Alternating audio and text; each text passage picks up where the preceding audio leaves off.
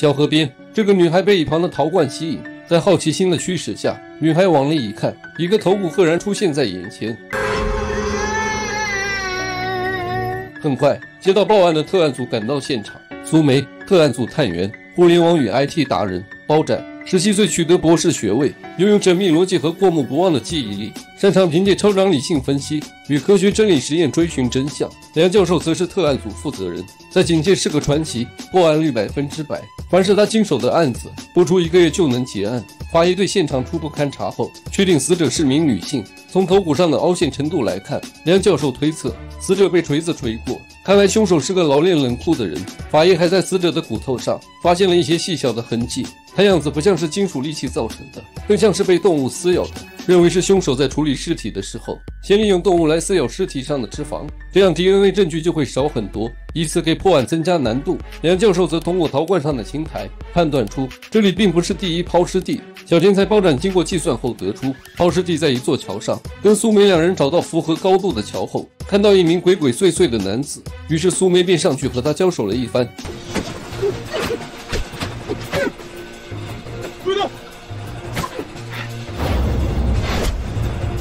原来这名男子也是特案组探员华龙，他拥有超凡的身手以及超高的智商。很快，梁教授的助理阿信调取了当地警局的失踪人口报案记录，确定了死者的身份莫非，年龄在二十岁。而他在失踪前一直在镇上最大的画廊学画画。他们来到莫非的住所调查，发现门锁并没有撬动的痕迹，这说明是熟人作案。还在抽屉里发现包装打开但并未使用的小雨伞。接着在衣柜里找到一幅画，画上的是一个男人。华龙立刻把画发给了正在墨菲画室调查的梁教授，惊喜地发现那幅画上的男人正是这画室中的老师麦西。看来这个麦西嫌疑很大。可就在传唤麦西的时候，警方在石桥下面又发现了一具尸骨，死者是名女性，年龄在二十岁左右。尸骨身上也是跟第一具尸骨一样，有很多细小的咬痕。尸骨同样是装在陶罐中，由此可以确定凶手应该是同一个人。很快，警方传讯了麦西。他承认自己杀了墨菲，在一个星期前，也就是下雨那天，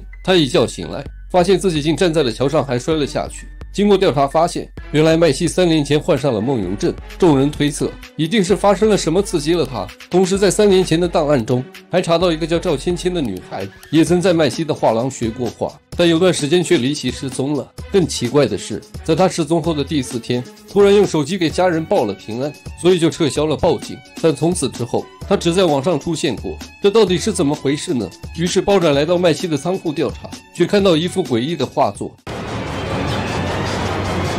这是一幅双眼流血、恐怖至极的画作。麦西看到后提出想去厕所，结果却出现了幻觉。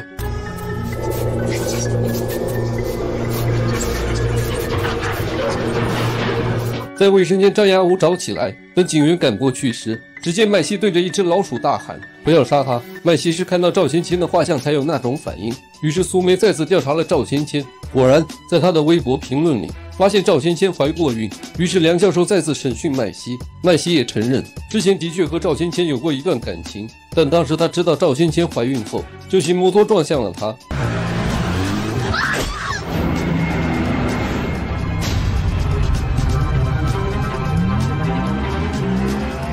等麦西回去救人时，诡异的事情发生了，不省人事的赵芊芊竟然消失不见了。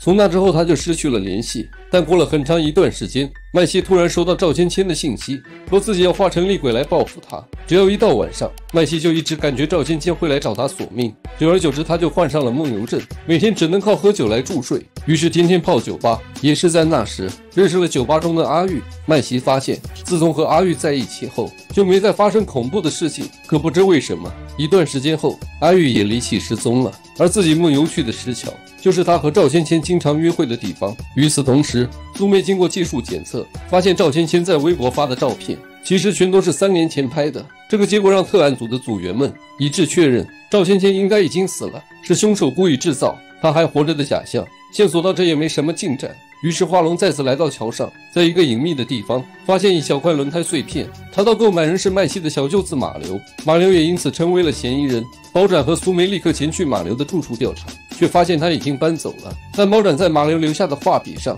闻到了一股麝香味，立刻想到一种动物麝香鼠，这鼠的品种比平常老鼠要大，而且毛能够用来制作画笔。如果真是麝香鼠的话，那尸体上的咬痕就对上了。随即，他们对马流展开了抓捕。苏梅很快找到马流藏身的地方，看到他房子外面圈养了很多麝香鼠，旁边还有几个装尸体的陶罐。就在苏梅准备进房子调查时，突然接到电话，说是发现了一条新线索。此时，马流则推着一个人快速离开了。苏梅发现后赶紧追捕，却因翻过铁网失脚被扭到，被马流逃走了。此时的马流正在一间仓库里，推着赵芊芊走进婚姻的殿堂。难道赵芊芊还活着？这个男人推着美丽的新娘步入婚姻的殿堂，可在他人眼里，坐在轮椅上的却是一具骸骨。麦西的妻子李凤看到这一切后，眼神中充满了恐惧。等华龙赶过来后，只见马流拿着刀准备刺死李凤，好在华龙开枪将马流手中的刀击落，李凤则趁机逃跑，没想到却被堵在了死胡同里。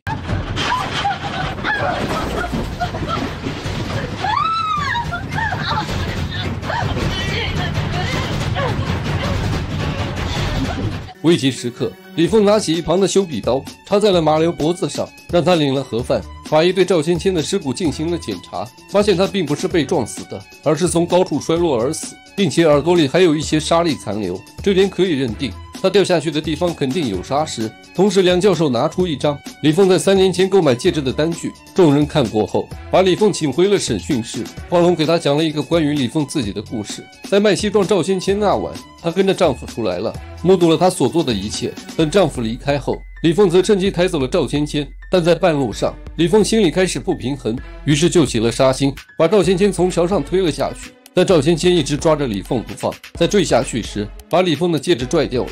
为了能够完美掩盖这场犯罪，李凤找到脑子有问题的马流，让他帮自己搬运处理尸体。可马流将死去的赵芊芊幻想成自己的妻子，而李凤利用手机开始假扮起赵芊芊，以此来吓唬麦西。本想着这样麦西就会回到自己身边，但李凤怎么都想不到“狗改不了吃屎”这句话是这么的真实。在赵芊芊之后，麦西的身边接连出现其他女孩，这让李凤变得越来越疯狂。利用赵芊芊的身份，在手机上给马流发信息，只是他杀了莫非和阿玉。在仓库，也是李凤怂恿马流去杀死自己，然后制造假象杀死马流。这样一来，李凤不仅杀人灭口，而且还是正当防卫。李凤这一计真可谓是一石二鸟。而李凤变得这么疯狂，正是因为当初丈夫送了她一条红裙，说是结婚纪念礼物。可是没想到，麦西竟然还给那些女人们都送了同款红裙，这下刺激到了李凤的神经。自己对丈夫这么忠诚，可到头来却是这样的结果。于是，一不做二不休，把那些女孩都杀死了。这时，梁教授拿出一份 DNA 检测报告，上面显示赵芊芊的孩子是马流的，而麦西是生不了孩子。之所以去找墨菲，是为了拿走那幅画，因为那幅画就是李凤和麦西相识后，李凤为他画的第一幅画。至此，案件终于结束。